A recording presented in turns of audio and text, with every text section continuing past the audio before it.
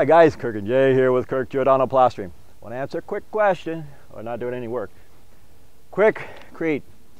Fellow says, gee, Kirk, I got two bags. We're doing a concrete wall. One is a base coat, one is a finish coat. What does it mean? Which one should I use? Well, they're kind of self-explanatory. Quikrete stucco, this just means a scratch and a brown with this product here. You just add water. Our products, the majority of them, I go to the material yards, the professional material yards. I get a ton or two of sand. We fill this truck up. We bring a tow behind mixer and we mix it that way. And plus we buy in bulk. This material here, Quikrete, these guys are smart. They sell it to all the material yards like Close, uh, West Side, Calply.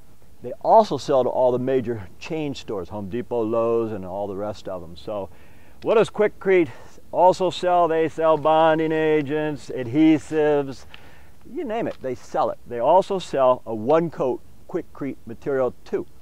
And that is, uh, they call it a same day material. And most of these products don't mix them over two to four minutes. That's it. Anyway, I'm just giving you a brief uh, uh, idea of what the heck you could uh, use these for.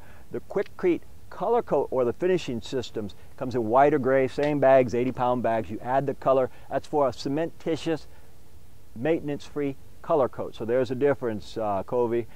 One is for the base coat, and it says base coat, and the other is for a finish coat, one eighth of an inch. Um, plus, they're real easy to mix too, guys. How would you know? You haven't mixed in 15 years.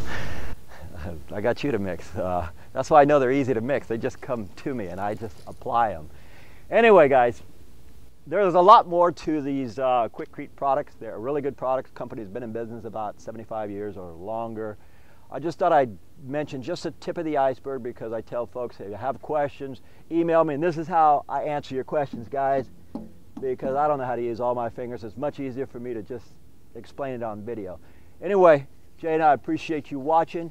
And as usual, guys, we'll see you on the next one. Once again, folks, we thank you for watching, and I really enjoy all your comments. If you guys like this video, please click the like button down below. And also, if you enjoy what we do, subscribe to our channel so we can keep making these videos for you. My name is Kirk. And Jay. We thank you for watching, and from the entire Giordano family, we'll, we'll see you on the next one. one.